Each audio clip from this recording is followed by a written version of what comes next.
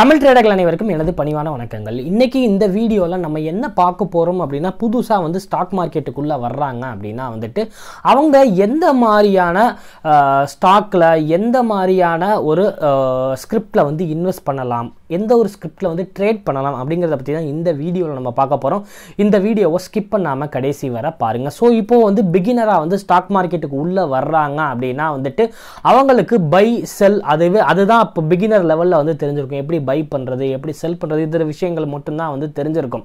So அவங்களுக்கு வந்து சேட்டை வந்து எப்படி பார்க்குறது எந்த மாதிரி வந்து எந்த கேண்டில் ஸ்டிக் வந்து வச்சு வச்சு பார்க்குறது ஸோ டெக்னிக்கல் எப்படி பார்க்குறது அப்படின்னு சொல்லிட்டு போக போக தான் வந்து அவங்களுக்கு தெரியும். ஸோ அந்த மாதிரி மாதிரியான ஒரு பிகினர்ஸுக்கான வீடியோ தான் அதனால் இந்த வீடியோ ஸ்கிப் பண்ணாமல் கடைசி வர பாருங்கள் வாங்க வீடியோக்குள்ளே போகலாம்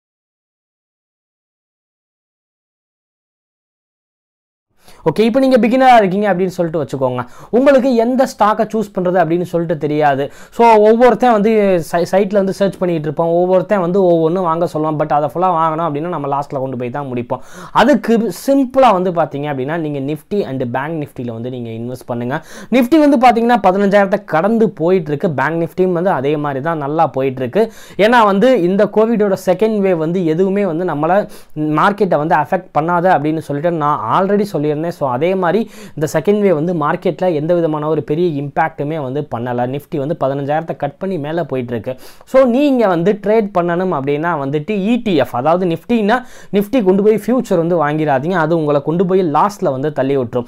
ஸோ அதனால் nifty future bank nifty future and ஆப்ஷன்லாம் போகாமல் எக்ஸ்சேஞ்ச் ட்ரேடட் ஃபண்டில் வந்து பார்த்தீங்க அப்படின்னா வந்து நிஃப்டி பீஸ் பேங்க் பீஸ் அப்படின்னு சொல்லிட்டு நிஃப்டியோட மூவ்மெண்ட்டை பொறுத்து ட்ரேட் ஆகிற எக்ஸ்சேஞ்ச் ட்ரேடட் ஃபண்டு வந்து இருக்கும். ஸோ நீங்கள் வந்து அந்த இடிஎஃப்ல நீங்கள் உங்கள் பணத்தை வச்சு நீங்கள் ட்ரேட் பண்ணலாம். ஸோ நிஃப்டி வந்து பார்த்தீங்க அப்படின்னா இன்றைக்கி நீங்கள் வாங்க ஏன்னா நிஃப்டி பேங்க் நிஃப்டி ரெண்டுமே வந்து பார்த்தீங்க அப்படின்னா லாங் டேர்முக்கு இறங்கவே இறங்காது. நீங்கள் ஒரு ஸ்டாக் நீங்கள் வாங்குறீங்க அப்படின்னா அந்த ஸ்டாக் நிச்சயமாக வந்து பார்த்தோம் அப்படின்னா வந்து அது வந்து ஃபிஃப்டி பர்சன்டேஜ் மேலே போகிறதுக்கும் சான்சஸ் இருக்குது ஃபிஃப்டி பர்சன்டேஜ் வந்து கீழே இறங்குறதுக்கும் சான்சஸ் இருக்குது இதுக்கு எக்ஸாம்பிள் நிறையா ஸ்கிரிப்ட் வந்து இருக்குது உதாரணத்துக்கு ஆர்காம் எடுத்துக்கோங்க எஸ் பா எஸ் பேங்க் எடுத்துக்கோங்க. இதெல்லாம் வந்து எப்படி இருந்த ஸ்டாக் இப்போ வந்து எப்படி இருக்குது நீங்கள் லாங் டேர்முக்கு போனாலுமே நீங்கள் ஆர்காமில் வந்து லாங் டேர்ம் வந்து போட்டிருந்தாலுமே வந்து ஒரு அஞ்சு வருஷத்துக்கு முன்னாடி போட்டிருந்தீங்கன்னா இப்போ நீங்கள் லாஸ்ட்டில் தான் இருந்திருப்பீங்க. அதே மாதிரி தான் எஸ் பேங்க் இது மாதிரி நீங்கள் எடுத்திருக்க ஸ்டாக்ஸ் என்ன அப்படின்னு சொல்லிட்டு சொல்ல முடியாது. ஆனால் இதுவே வந்து நீங்கள் இந்த மாதிரி இண்டெக்ஸை வந்துட்டு நிஃப்டி இல்லைனா வந்து பேங்க் நிஃப்டியை நீங்கள் எடுத்தீங்க அப்படின்னா வந்துட்டு பிகினர் நீங்கள் வந்து லேர்ன் பண்ணுறதுக்கு கரெக்டாக இருக்கும். இந்த சேட்டை பச்சு நீங்கள் ட்ரேட் பண்ணலாம்.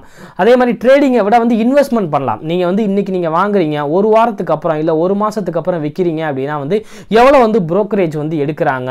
ஸோ எவ்வளோ வந்து உங்களுக்கு ப்ராஃபிட் கிடைக்குது அப்படின்னு சொல்லிட்டு எல்லாத்தையுமே நீங்கள் லேர்ன் பண்ண முடியும். ஓகே ஒன்ஸ் நீங்கள் கொஞ்சம் கொஞ்சமாக லேர்ன் பண்ணிட்டு வந்துட்டீங்க அப்படின்னா நெக்ஸ்ட் வந்து பார்த்தீங்க அப்படின்னா வந்து நீங்கள் கமாடிட்டி ஸ்கிரிப்டில் வந்து பார்த்தீங்க அப்படின்னா crude oil and gold and silver வந்து ட்ரேட் பண்ணலாம். ஏன்னா வந்து இந்த குருடாயில் கோல்டு சில்வருமே வந்து பார்த்தீங்க அப்படின்னா வந்து இறங்கவே இறங்காது. நல்லா வந்து ஏறிக்கிட்டே தான் போகும்.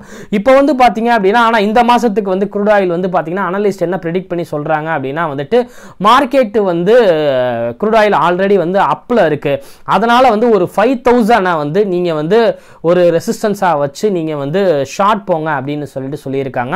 பட் இருந்தாலும் வந்து குருடாயில் கோல்டு சில்வர்லாம் வந்து பார்த்தீங்கன்னா நீங்கள் ரொம்ப நாளைக்கு வந்துட்டு ஹோல்ட் பண்ண முடியாது.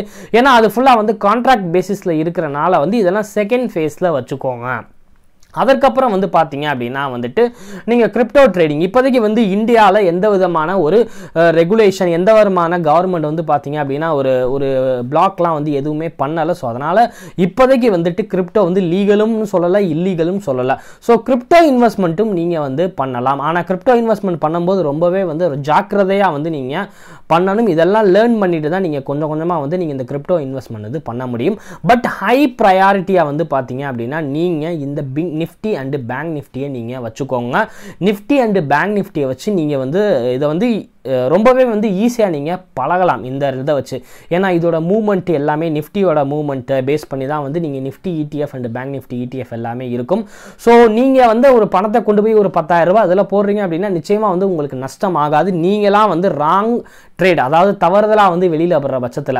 நீங்கள் வந்து வெயிட் பண்ணீங்க அப்படின்னா இந்த ரெண்டு ஒரு ஸ்கிரிப்பும் வந்து பார்த்தீங்க அப்படின்னா உங்களை ப்ராஃபிட்டில் கொண்டு போய் தான் விடும். நீங்கள் ஸ்டாக்ஸை சூஸ் பண்ணுறதுக்கு பதிலாக ஏர்டெல் இல்லைனா வந்துட்டு ரிலையன்ஸ் ஏதாச்சும் ஒரு ஸ்டாக்கை சூஸ் பண்ணுறதுக்கு பதிலாக பதிலாக இந்த மாதிரியான இடிஎஃப்பை சூஸ் பண்ணி நீங்கள் ட்ரேட் பண்ணீங்க அப்படின்னா வந்து உங்களால் லேர்ன் பண்ணவும் முடியும். அதே நேரத்தில் உங்களால் வந்து ப்ராஃபிட்டையும் எடுக்கலாம். ஓகே ஸோ இதை பற்றின உங்களோட கருத்துக்களை நீங்கள் சொல்லுங்கள் இல்லை இடிஎஃப்பை தவிர வேற எதிலையாச்சும் பிகினர்ஸ் வந்து இன்வெஸ்ட் பண்ணலாமா ட்ரேட் பண்ணலாமா அப்படிங்கிற உங்களோட கருத்துக்களை கீழே கமெண்ட்ஸில் சொல்லுங்கள்